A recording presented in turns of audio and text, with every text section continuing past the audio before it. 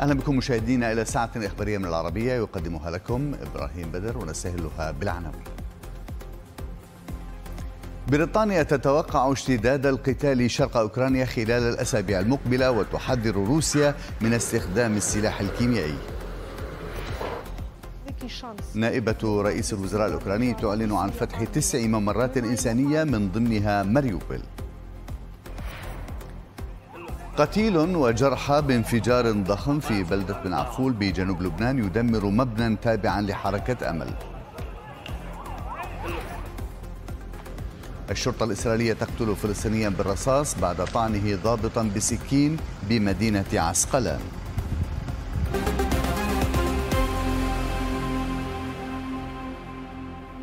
قالت المخابرات البريطانية أنها ترجح أن يشتد القتال في شرق أوكرانيا خلال الأسابيع المقبلة وأضافت بأن الهجمات الروسية تتركز بالقرب من دونيتسك ولوغانسك فيما تتزايد حدة القتال حول خيرسون وميكولايف.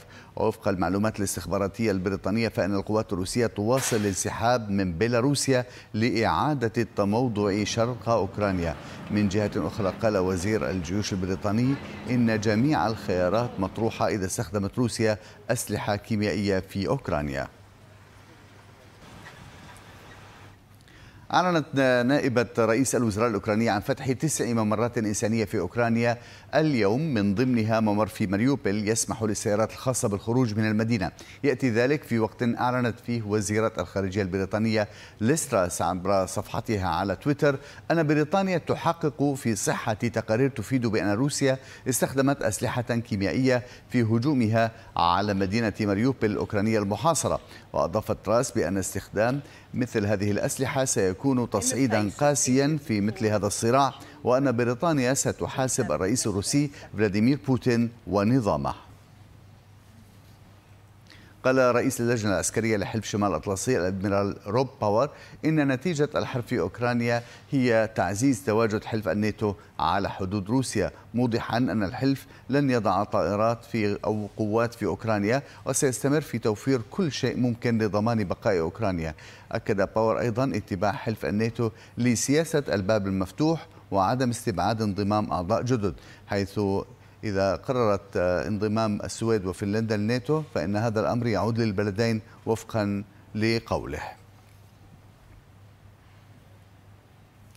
والمزيد من المتابعة متابعة التطورات الميدانية في أوكرانيا. ينضم إلينا من أوديسا موفد العربية عادل عيدان. أهلا بك عادل. بداية آه، آخر التطورات فيما يتعلق بمعركة مريوبل آه، هل هناك أي بوادر أو معلومات حول موعد أو ساعة الصفر لبدء هذه المعركة لتحرير الميناء؟ أهلا بك إبراهيم. يعني القوات الأوكرانية تقول من أنها تستعد لاستعادة خيرسون وبعدها تتجه إلى مريوبل، مريوبل حقيقة اليوم يتم الحديث من أن القوات الروسية تسيطر على أكثر من 80 أو 70% من المدينة وهناك بعض المقاومة للقوات الأوكرانية.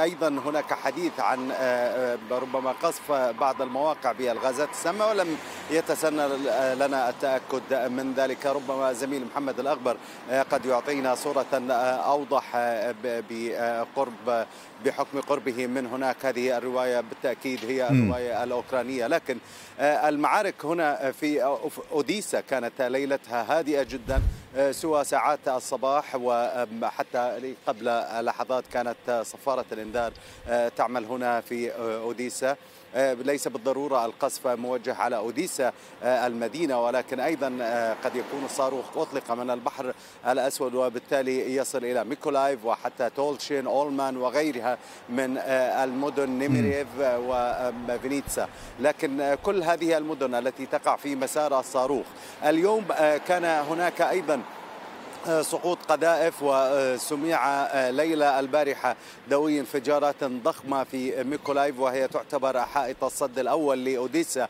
الحاكم العسكري هناك برر عدم إطلاق صافرات الإنذار حيث اشتكى السكان من عدم وجود صافرات الإنذار من أن القوات الروسية تطلق من خيرسون التي تحتل بعض المواقع فيها وتحاول القوات الأوكرانية قصف تلك المواقع وبالتالي يتم القصف المتبادل من قبل القوات الروسية تطلق قذائف وكذلك صواريخ قصيرة المدى لا يمكنهم إطلاق صافرات الإنذار لأنها تستغرق من دقيقتين إلى ثلاث دقائق هذا صاروخ حتى يصل إلى هدفه وبالتالي لا يسعهم إطلاق صفارات الإنذار نعم. احتماء الناس أو دخول الناس إلى الملاجئ. عادل نائبة رئيس وزراء الأوكراني أعلنت عن فتح تسع ممرات إنسانية من ضمنها مريوبل باقي الممرات خارطة انتشارها والمدن التي ستتضمنها. إبراهيم آه، هناك يعني الممرات بين حين وآخر يتمكن السكان من الخروج حتى ان كان هناك اتفاق آه، ربما من خيرسون آه، يخرجون بسياراتهم ممرا للسيارات الخاصة وبالتالي يسمح لهم. لكن أيضا كان هناك شكوى من أن عمليات القصف تعطل تلك تلك الممرات التي من الممكن أن تفتح لخروج المدنيين. بعض أيضا حتى بالقرب من ميكولايف كان هناك اتفاق يوم أمس بخروج السيارات الخاصة. لكن هذه السيارات الخاصة قد استعملها القوات أفراد القوات الروسية وبلباس مدني حينما وصلوا إلى نقطة تفتيش. حدث اشتباك ما بينهم وبين القوات الأوكرانية. هذه الممرات بالفعل مهدده بين الحين والآخر بالإغلاق وبالتالي تكمن صعوبة الموقف في خروج المدنيين. بعض السكان ربما هنا قبل يوم ونصف صادفت حقيقة أو قبل يومين عفوا صادفت أحد السكان الخارجين من ماريوبل كان يتحدث عن صعوبة الخروج وصعوبة نقاط التفتيش في تجاوزها حتى الوصول إلى هنا إلى أوديسا وبالتالي هذه المشقة تكمن أيضا أو تتكرر بكل المعابر التي يخرج منها الأوكرانيون. هل ما زالت أوديسا ربما يتجه لها الخارجون والنازحون من مريوبل هل ما زالت موقع آمن بالنسبة لهؤلاء؟ هي حتى الآن آمنة ومن أكثر المواقع أمنا بل هي مقصد لكل المدن التي يشتد فيها القتال. لكن حتى سكان هذه المدينة الذين عادوا إليها منذ أسابيع أسبوعين أو ثلاثة أسابيع بدأوا بالعودة إلى مدينتهم. الآن يترقبون الجولة الثانية من الهجمات الروسية باعتبار أن القتال يشتد على جبهة ميكولايف يشتد على جبهة خيرسون يشتد على بعض حتى زابوريجيا. هذا الهلال الذي تحاول القوات الروسية أو نصف الدائرة التي تحاول القوات الروسية فرضه لعدم تهريب السلاح إلى دونباس ودونست عفوا. بالتالي هي تحاول فرض هذا الطوق والتقدم إلى إلى هذه الجبهة. لكن الحديث أيضا من للقوات الأوكرانية من القوات الروسية. عملت محطات لتصليح عرباتها أو حتى الأضرار التي تصيب دباباتها.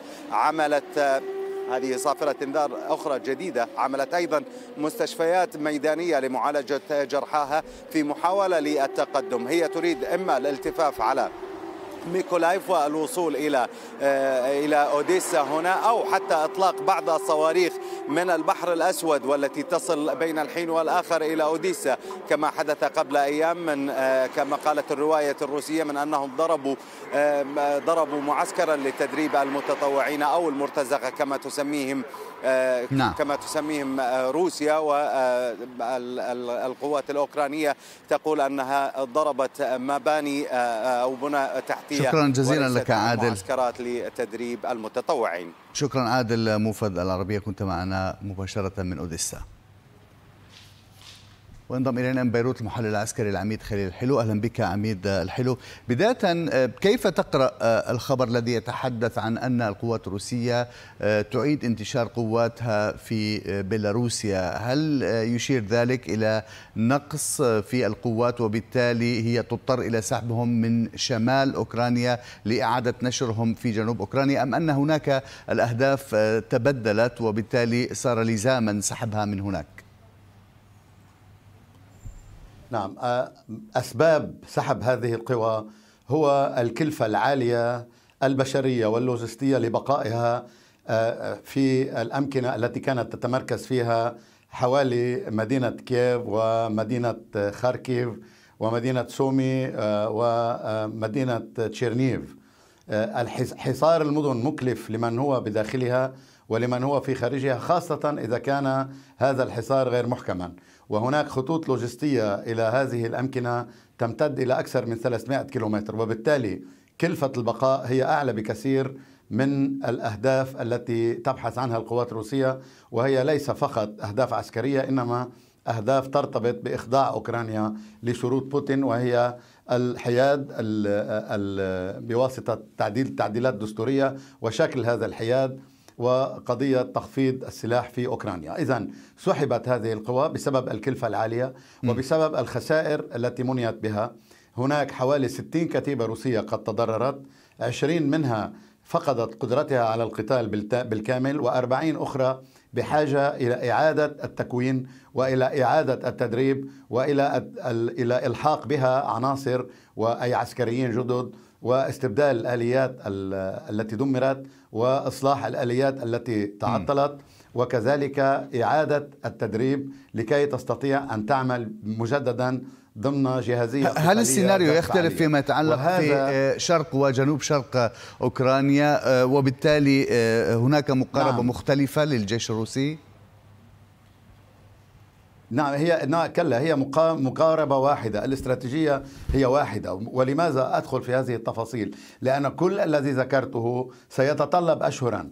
وبالتالي لن يكون هناك إعادة انتشار لهذه القوة في الشرق الأوكراني في القريب العاجل المسألة تتطلب أسابيع طويلة وربما أشهر طويلة لإعادة تكوين هذه القوى م. التي اكتسبت خبرة قتالية رغم الخسائر التي منيت بها وعندها سيمكنها الانتشار وإعادة أو الاستمرار في الهجوم لتحقيق الهدف المعلن وهو احتلال الكامل لدونيتسك ولوهانسك بالنسبة لمعركة ماريوبل من خلال متابعتك لآخر التطورات العسكرية وما يصدر عن وزارة الدفاع البريطانية وأيضا آه، آه، الأوكرانية والروسية. آه، هل روسيا أمام مهمة صعبة أم أنها أنجزت ربما جل هذه المهمة بعد أن حاصرت المدينة لأكثر من أربعين يوما وجوعتها واستنفذت الذخيرة من المقاتلين فيها؟ نعم مع الأسف يعني ميزان القوى هو لصالح روسيا هناك. المدينة اليوم مطوقة بالكامل معزولة عن أي إمكانية لإمدادها بحرا وبرا بأي شيء. في داخل المدينة قد قطع الروس المدينة إلى ثلاثة أجزاء ومعزولة عن بعضها البعض. هناك ثلاثة جيوب كبيرة داخل ماريوبول واحد منها لجهة البحر وقريبا سيصبح هذا الجزء معزولا تماما حتى عن البحر. بالأمس حاولت باخرة أو حاول مركب أوكراني التقدم وتم إبعاده وإصابته بالأضرار. والمقاتلون في الداخل وضعهم شبه آه، لا أريد أن أقول ميؤوس لهم لديهم بعد إمكانية القتال. ولكن هذا لن يجدي نفعا إذا لم يكن هناك مفاوضات توقف ما يحصل في ماريوبول أو كسر للطوق العسكري. وبالتالي الوضع في ماريوبول سيء سؤال أخير من شقين إنه هل استنفذت الحكومة الأوكرانية امكانه إيصال المساعدات العسكرية والغذائية؟ والشق الثاني أهمية ماريوبول الاستراتيجية وتأثيرها على ميزان القوى في حال سيطرت عليها روسيا. نعم. اولا نعم الحكومة الأوكرانية ليست لديها الإمكانيات لإيصال أي شيء إلى المحاصرين في الداخل. لقد تحسبوا لهذا الحصار بالذخائر والعتاد وغيره ولكن المسألة ليست مسألة فقط إمدادات إنما مسألة أيضا مسألة تكتيات لا يمكن الوصول إلى هذه المدينة أما سقوط المدينة ماذا يعني؟ يعني أولا تفريغ القوات الروسية التي تهتم بالمعارك هناك إلى جبهات أخرى وتفريغ البحرية الروسية وهذا الأهم تفريغ الجزء الأكبر من البحرية الروسية للاهتمام بأوديسا وللاهتمام بالمناطق الغر... المناطق السواحل الغربية لأوكرانيا التي آه، الوضع فيها هادئ تماما. آه، آه، خلال الأيام الماضية وسوى بعض الرشقات وبعض الصواريخ وبعض الاشتباكات التي لا تغير أي شيء. وبالتالي إذا أفرغت هذه القوى من معركة ماريوبول سيتغير الوضع في على الجبهات البرية وعلى الجبهة البحرية في منطقة البحر الأسود وفي مناطق الجنوب الأوكراني. شكرا جزيلا لك المحلل العسكري العميد خليل الحلو. كنت معنا مباشرة من بيروت. أشار وزير الدفاع الأمريكي لويد أوستن بعد اللقاء الذي جمعه بوزير الخارجية مع نظيريهما الهنديين في واشنطن. أشار أوستن إلى أنه أصبح من الضروري على الدول أن تتحد للدفاع عن النظام الدولي في ظل اعتداء الروسية على أوكرانيا. Today's 2 plus 2 ministerial reflects our deep commitment to maintaining open channels of communication on a range of challenging issues. As strategic threats converge, especially following Russia's invasion of Ukraine, it is more important than ever that we stand together to defend our shared values and to preserve the international rules based order. And so I believe that the investments that we've made together today will help to ensure that our shared vision of a secure, open, and prosperous Indo Pacific region thrives in the decades ahead. وزير الخارجية الأمريكي أنتون بلينكن بدوره قال إن الولايات المتحدة ستواصل دعمها لأوكرانيا وحكومتها. Russia's war against Ukraine is an attack on Ukraine's people. It's also an attack on that rules-based order that we both adhere to and defend. The United States will continue to increase our support to the government and people of Ukraine and call on other nations to do the same, just as we call on all nations to condemn Moscow's increasingly brutal actions. Russia's aggression stands in stark contrast to the vision that the United States and India share for a free and open Indo Pacific. And Russia's actions are having a profound impact not just in Europe uh, and in Ukraine, but around the world. نشرتنا مستمرة وتتابعون فيها بعد الفاصل. وكالة الفضاء أو الشرطة الأوروبية يوروبول تطلق عملية تستهدف أصول الأشخاص والشركات الروس الخاضعين للعقوبات التجارية.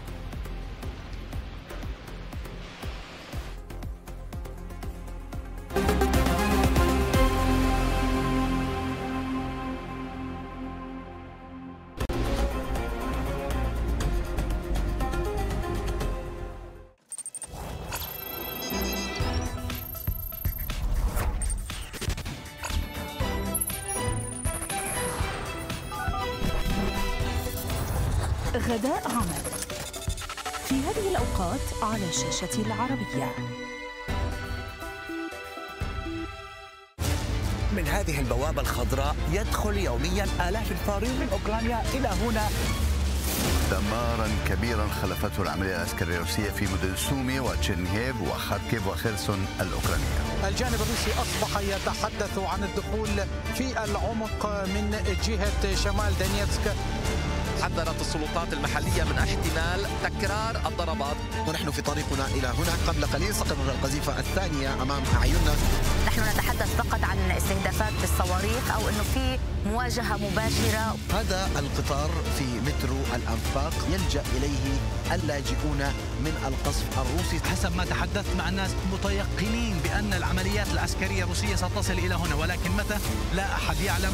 يوجد في المستشفيات البولندية حوالي 2000 لاجئ أوكراني أكثر من نصفهم أسر وأطفال. هل ترون بأن الناس حقيقة بدأت تخرج من هذه المدن وخاصة من العاصمة ومحيطها؟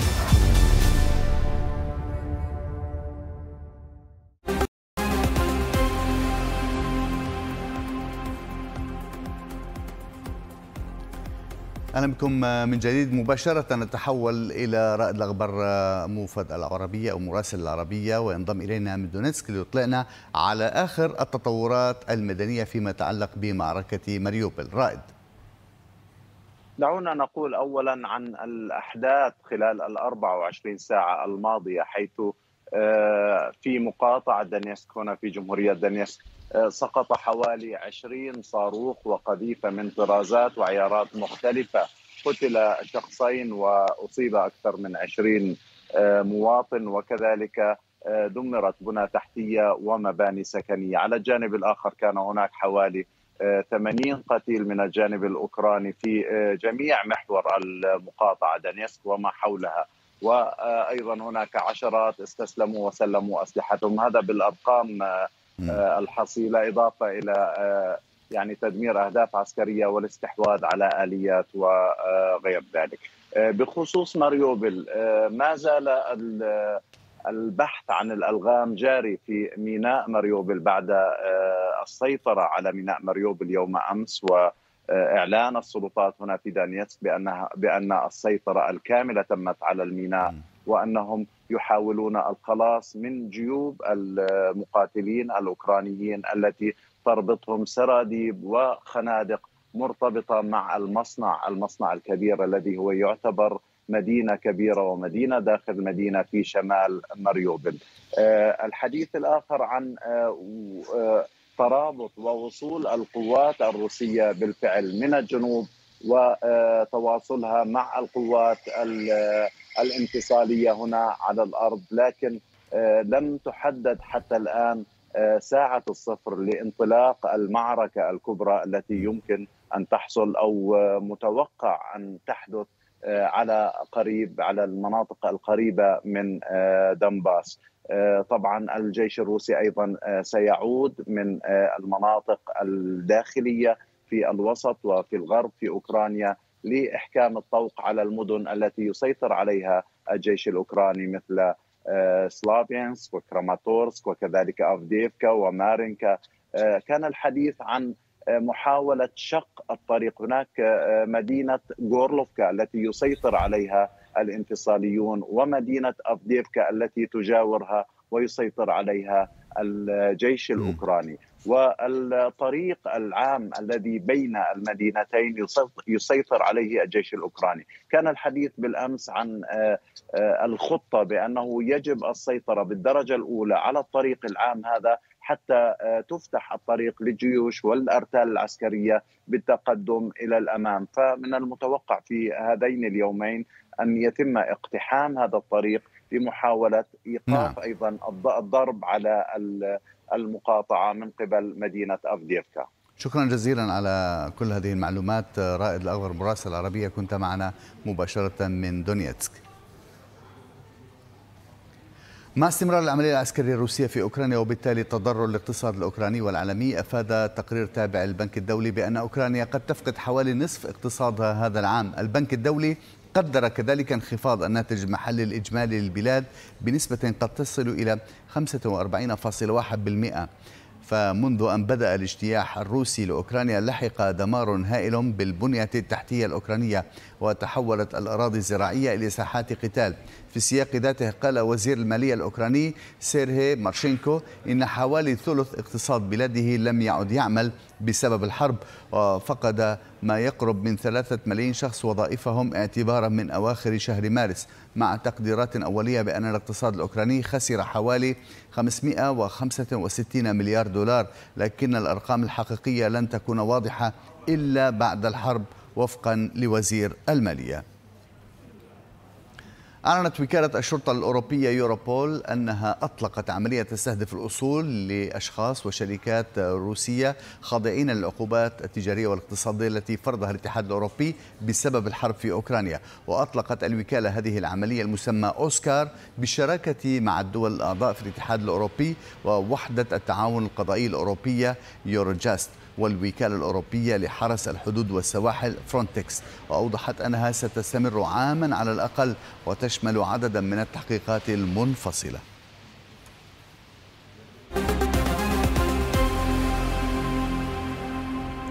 إلى جنوب لبنان حيث قتل شخص وجرح سبعة آخرون على الأقل في انفجار هز بلدة منعفول في قضاء صيدا. جنوب لبنان مراسل العربية أفاد بأن انفجارا وقع في ساعات الفجر الأولى من صباح اليوم. دمر مبنى يتبع لبلدية منعفول بالكامل وتشغل جزء منه كشافة حركة أمل. مراسل العربية أضاف بأن الانفجار أدى إلى مقتل نجل رئيس البلدية وإصابة سبعة آخرين.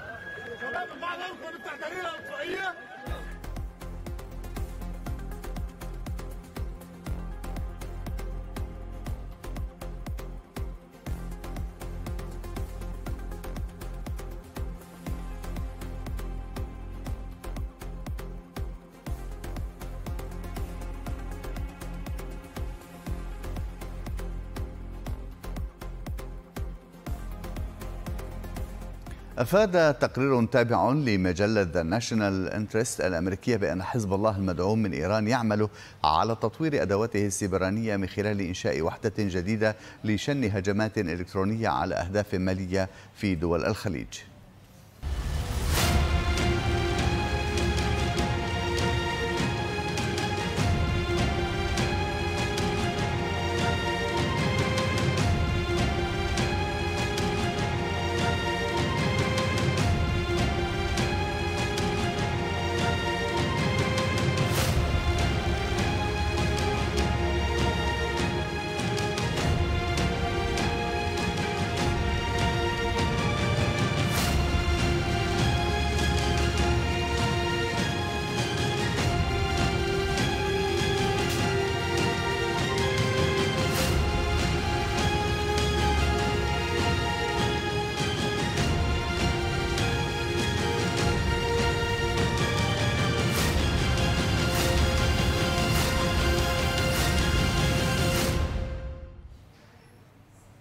أفادت الشرطة الإسرائيلية بقتل فلسطيني بعد أن طعن ضابط شرطة بسكين في ورشة بناء بمدينة عسقلان جنوب إسرائيل. وقال الشرطة إن الضابط كان يتحقق من هوية مشتبه به لكنه أخرج سكينا وهاجم الضابط الذي رد فاتحا النار عليه.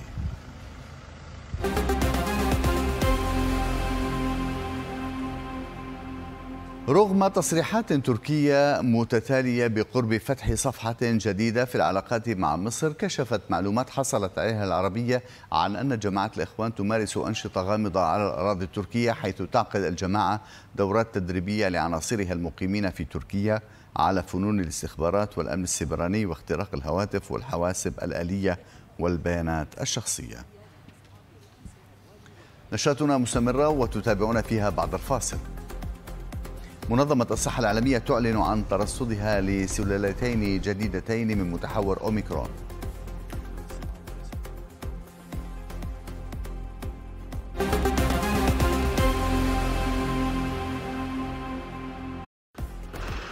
بريطانيا تتوقع اشتداد القتال شرق البلاد خلال الأسابيع المقبلة وتحذر روسيا من استخدام السلاح الكيميائي. نائبة رئيس الوزراء الأوكراني تعلن عن فتح تسع ممرات إنسانية من ضمنها ماريوبل قتيل وجرحى بانفجار ضخم في بلدة بنفول بجنوب لبنان يدمر مبنى تابعا لحركة أمل. والشرطة الإسرائيلية تقتل فلسطينيا برصاص بعد طعنه ضابطا بسكين بمدينة عسقلان.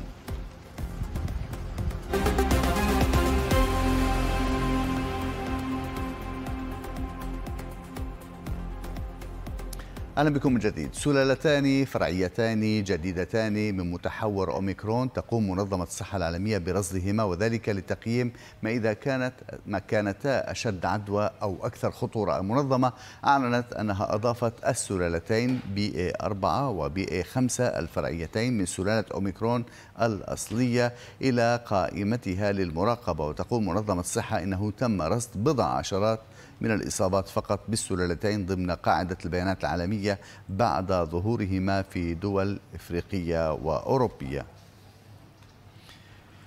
على صعيد متصل تواصل السلطات الصينية جهودها للتصدي للموجة الجديدة من وباء كورونا في مدنها الشرقية حيث أغلقت مركز التصنيع في مدينة كوانتشو فيما تتزايد المخاوف من إعلان الحظر الشامل على المدينة على غرار شنغهاي وأدت تدابير مكافحة الوباء الصارمة إلى انخفاض مبيعات السيارات وارتفاع أسعار السلع اليومية في مارس الماضي بحسب صحيفة وول ستريت جورنال وبدأت عملية الإغلاق الصارمة التي فرضتها الصين في شنغهاي وغيرها من المراكز الصناعية تؤثر سلبا على اقتصادها بوتيرة أسرع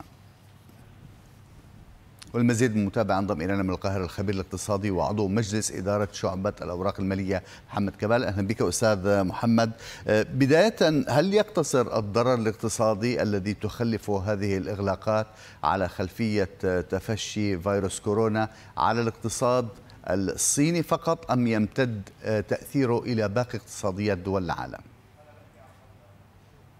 بالتأكيد طبعا ممكن هنشوف تأثيره على اقتصاديات العالم. يمكن إحنا شفنا تفشي فيروس كورونا والذي أصاب الاقتصاد العالمي بالشلل بشكل كبير جدا. يمكن توقف الاقتصاد العالمي وتوقف الإمدادات وتوقف حركة السير والطائرات. أعتقد إن هي صارت يعني كانت في حالة من حالات الشلل التام.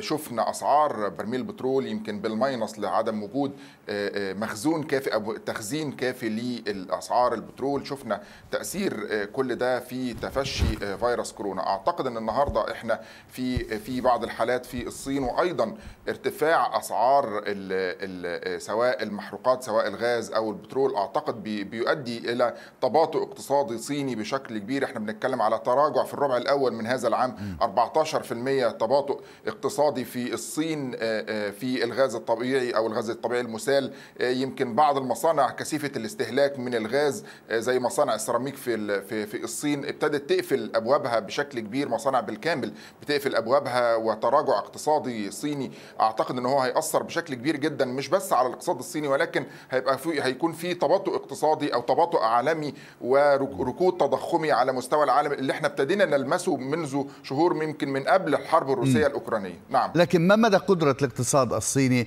الذي يعني يعد الأكثر نموا في العالم على التعافي في حال تم رفع كل هذه الإغلاقات؟ وهل الأمر ينسحب أيضا على باقي اقتصاديات دول العالم؟ الحقيقة يمكن الصين وقدرة تعافيها سريعا يمكن قوة الاقتصاد الصيني زي مشكورا زي ما حضرتك ما ذكرت وقلت يمكن قوة نمو الاقتصاد الصيني بالتأكيد طبعا يمكن مع تعافي فيروس كورونا وأيضا التوترات الجيوسياسية من من قبل روسيا وأوكرانيا. أعتقد إن كل هذا بيكون ليه تأثير قوي جدا على الاقتصاد العالمي وعلى الركود التضخمي اللي موجود في العالم حاليا. فأعتقد إن هو مع زوال الأسباب بالتأكيد طبعا الصين ممكن هنشوف رجوع قوي ليها. يمكن إحنا شفنا تجربة سريعة يمكن بعد خروجنا من أزمة فيروس كورونا كان في مشكلة كبيرة جدا. يمكن حاليا حتى لما ما زال هي سلاسل الإمداد أو الإمدادات والشرائح الإلكترونية والرقائق الإلكترونية يمكن أثرت بشكل كبير جدا على صناعة السيارات في العالم كله. فأعتقد إن كل كل هذه الأمور بتؤثر طبعا مش بس على الاقتصاد الصيني على الاقتصاديات العالمية أيضا. نعم. شكرا جزيلا على وجودك معنا أستاذ محمد كمال الخبير الاقتصادي وعضو مجلس إدارة شعبة الأوراق المالية. كنت معنا مباشرة من القاهرة. الآن إلى أخبار المال والأعمال مع نادين هاني. صباح الخير نادين.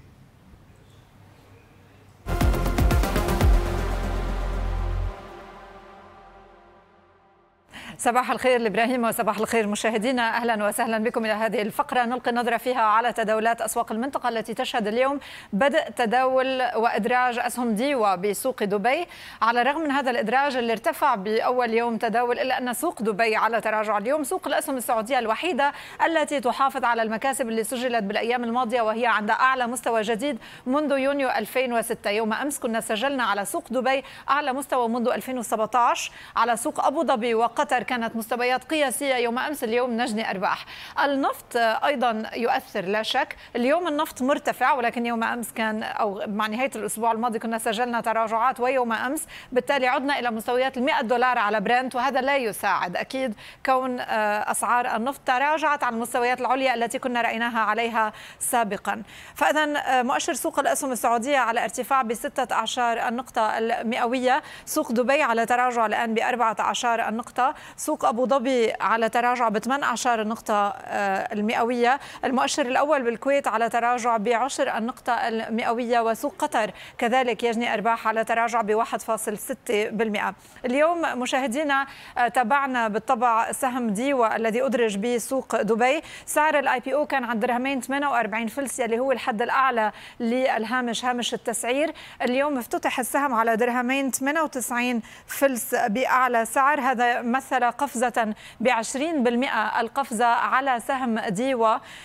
وبالتالي آه، من بعدها عاد وتراجع عمل 3 دراهم خمسة فلوس بأعلى سعر من بعدها عاد للتراجع إلى مستويات أقل من ذلك الآن يتداول عن درهمين 86 فلس إنما يبقى على ارتفاع 15% عن سعر ال IPO 338 مليون سهم تم تداولها حتى الساعة. بالوقت اللي DEWA يرتفع باقي الأسهم بسوق دبي تتراجع اليوم خاصة إعمار دبي الإسلامي على تراجع Emirates NBD على ارتفاع والعربية للطيران كذلك على ارتفاع ونصف بالمئة.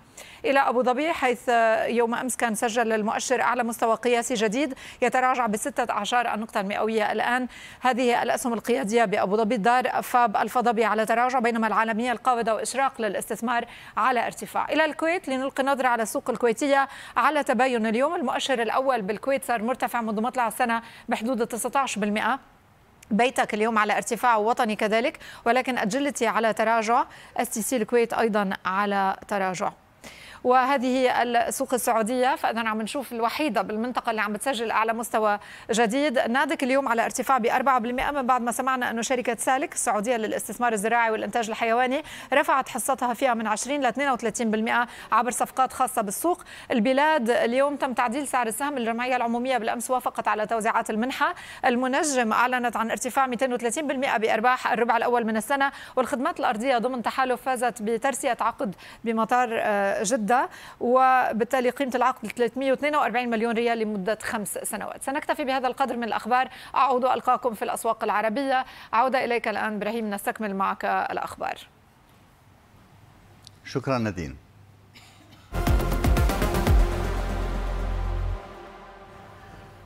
إذا مشاهدينا نشير الأخبار العاجلة. الرئيس الروسي فلاديمير بوتين يقول إن روسيا وبيلاروسيا ستتعاونان في مجال الصناعات الفضائية. قبل ذلك أكد وحيا جنوده في أوكرانيا وقال إنهم يقاتلون بشجاعة وكفاءة.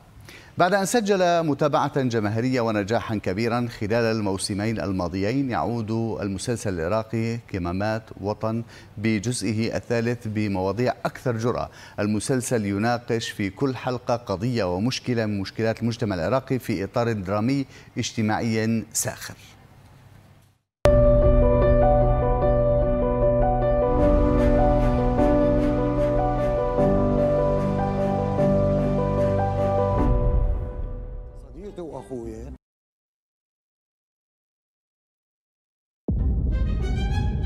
هذا وشريد حاج هذا يريد مباركتك. السلام عليكم. إذا أنت صديقي وأخويا فالقانون أمي وأبويا حج صدقني ابني لو بأمريكا.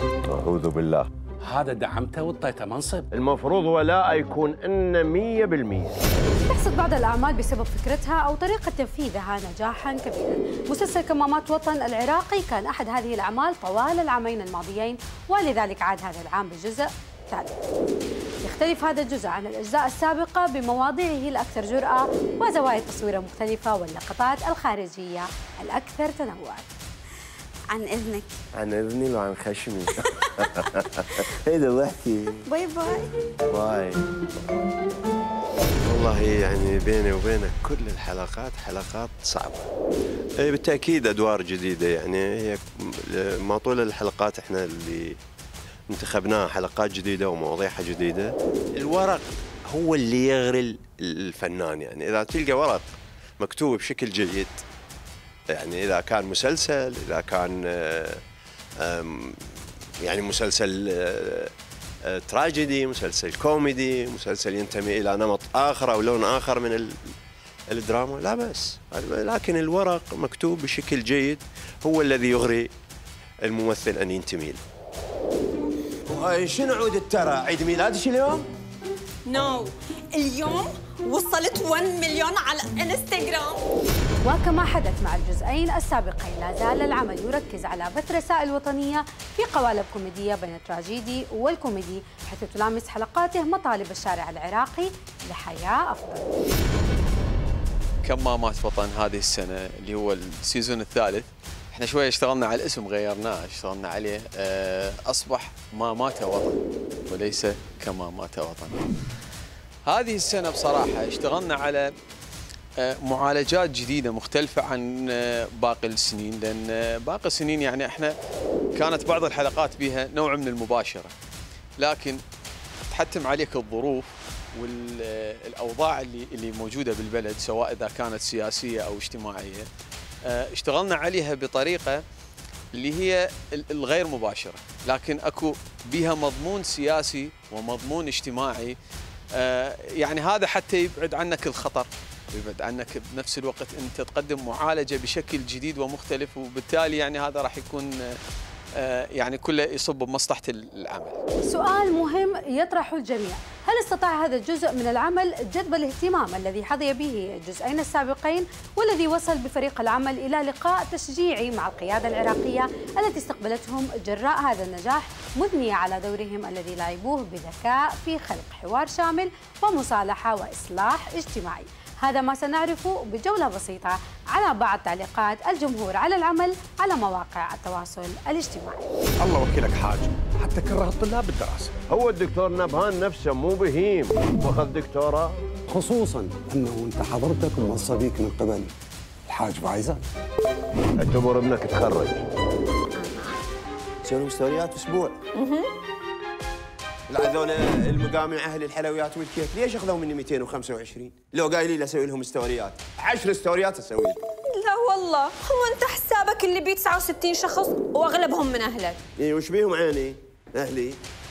يعني 69 ما يجيبون لك يصمون no.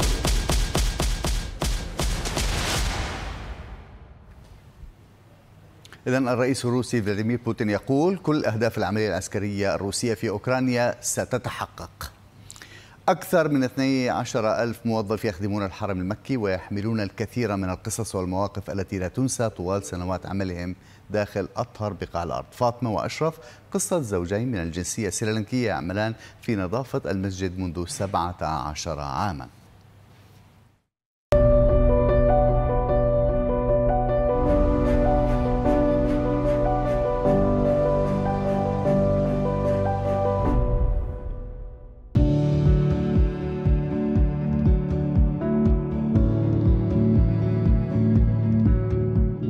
بين أربعة آلاف عامل من مختلف الجنسيات يعملون على نظافة الحرم المكي وساحاته على مدار الساعة. يكتب الله لعائلة سريلانكية أن تأتي من أقصى بلاد الأرض لتنال شرف الخدمة في المسجد الحرام.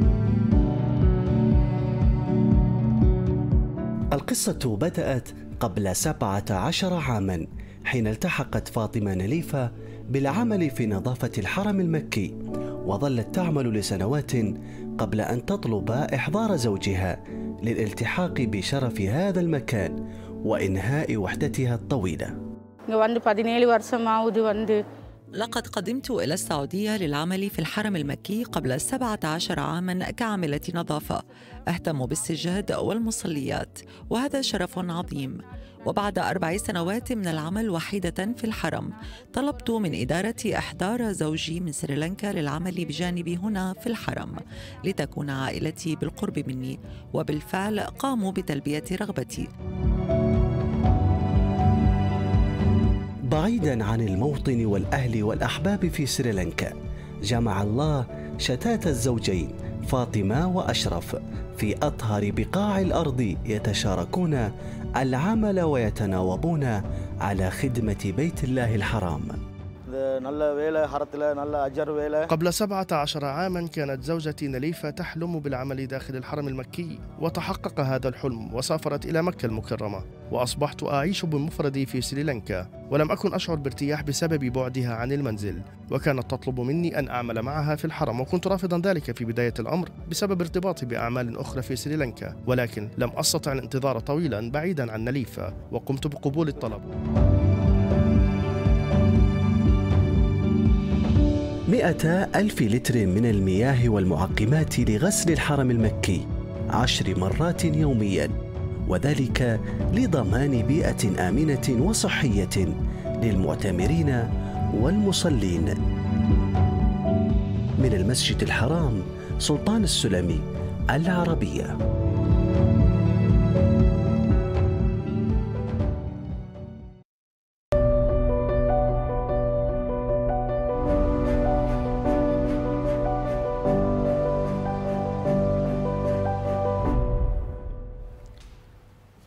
الإفطار الجماعي في شهر رمضان المبارك عادة اجتماعية في شمال السعودية تعرف محليا بدورية الفطور. هذه العادة الرمضانية عادت بعد انحسار جائحة كورونا. جزاء ماصي معه التفاصيل.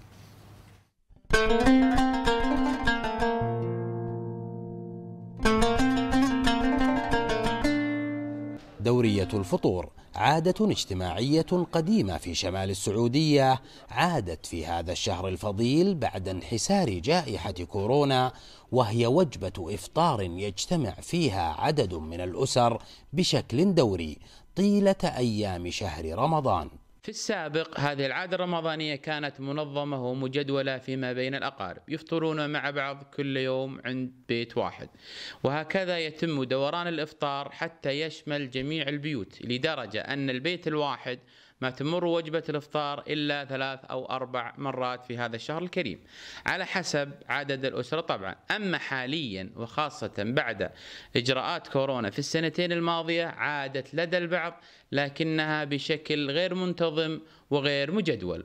هذه العادة الاجتماعية التي توارثها الناس عبر الأجيال مضت في طريقها كأيقونة رمضانية تعكس مدى التلاحم بين أفراد العائلة. الفطور أول تمير هاي وقهاي وي ومويه ما غير ينشيل. هذا الفطور أول. الفطور هالوقت مثل ما تشوف. الحمد لله أنعام. ذبايح وأنعام مشكلة ومنوعة وكثيرة وحلوة. ولله الحمد. الاجتماع على الفطور. يزيد محبة يزيد ألفة يزيد خوة زين الاجتماع. الاجتماع على مائدة الإفطار من العادات الطيبة في الشهر الفضيل وإفطار الصائم فيه أجر عظيم يجتمع فيه الأقارب والجيران وهذه العادة الاجتماعية تنمي روح التواصل وصلة الرحم لدى الكبار والصغار.